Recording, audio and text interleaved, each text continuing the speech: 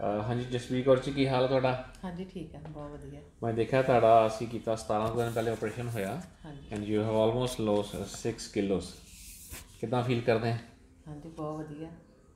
ਕਿੱਦਾਂ ਦਾ ਤੁਹਾਡਾ ਐਕਸਪੀਰੀਅੰਸ ਹੈ ਇੱਥੇ ਜਲੰਧਰ ਜੰਮੂ ਹਸਪੀਟਲ ਦਾ? ਬਹੁਤ ਵਧੀਆ। ਕੋਈ ਰეკਮੈਂਡ ਕਰੋਗੇ ਇੰਪਰੂਵਮੈਂਟ ਕਰਨੀ ਚਾਹੁੰਦੇ ਆ? ਤੁਸੀਂ ਚਾਹੁੰਦੇ ਵੀ ਕਿਸੇ ਚੀਜ਼ ਇੰਪਰੂਵਮੈਂਟ ਕਰੀਏ ਕਿ ਓਕੇ ਸਭ ਕੁਝ ਠੀਕ ਲੱਗਾ ਤੁਹਾਨੂੰ? ਹਾਂਜੀ ਨਹੀਂ ਸਾਰਾ ਕੁਝ ਠੀਕ ਲੱਗਾ।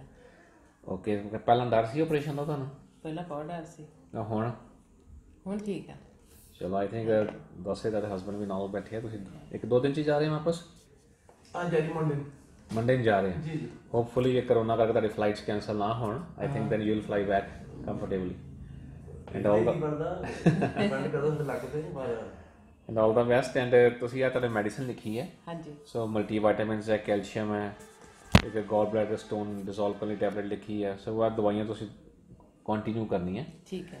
ਐਂਡ ਵਾਂਸ ਈਅਰ ਤੁਸੀਂ ਆਪਣਾ ਬਲੱਡ ਵਰਕ ਵੀ ਕਰਾਉਣਾ। ਓਕੇ ਠੀਕ ਹੈ? ਹਾਂਜੀ। ਤੇ ਤੁਸੀਂ ਮੌਂਟਰੀਅਲ ਦੇ ਰਹਿਣ ਵਾਲੇ ਆ। ਕੀ ਐਡਰੈਸ ਕੀ ਤੁਹਾਡਾ ਉੱਥੇ ਮੌਂਟਰੀਅਲ ਦਾ? ਸਾਡਾ ਹੈਗਾ 140 ਬੋਰੇਵਾਸ ਗੋਦਰੇ ਡੋਰੀਅਨ J7V9X3 ਓਕੇ। ਜੇ ਤੁਹਾਨੂੰ ਕੋਈ ਕਾਲ ਕਰਨਾ ਚਾਹੇ ਹਾਂਜੀ। ਮੌਂਟਰੀਅਲ ਚ ਕਾਲ ਕਰ ਸਕਦੇ ਤੁਹਾਨੂੰ। ਕੋਈ ਸਲਾਹ ਲੈਣਾ ਚਾਹੀਦਾ ਰਿਲੇਟਿਵ ਟੂ ਸਰਜਰੀ ਹਾਂਜੀ। ਇਹ ਨੰਬਰ ਬੋਲ ਸਕਦੇ ਹਾਂ ਅਸੀਂ ਹਾਂਜੀ 438 404 8266 ਤੇ ਕਿਹੜੇ ਵੇਲੇ ਫ੍ਰੀ ਹੁੰਦੇ ਜੇ ਕਾਲ ਕਰਨੀ ਹੋਵੇ ਕਿਸੇ ਨੇ? ਹਾਂਜੀ ਮੈਂ 3 ਵਜੇ ਤੋਂ ਬਾਅਦ ਦੁਪਹਿਰ ਦੇ 3 ਵਜੇ ਤੁਹਾਡੇ 3 ਵਜੇ ਤੋਂ ਬਾਅਦ ਕਰ ਸਕਦੇ।